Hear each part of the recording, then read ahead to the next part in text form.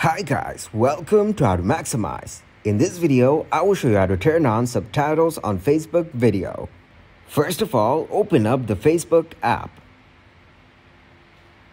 After opening your Facebook, click on Menu from the top right corner. Scroll down and tap on Settings and Privacy.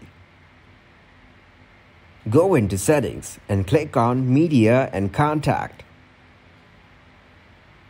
Find the subtitle settings from Media and click on it.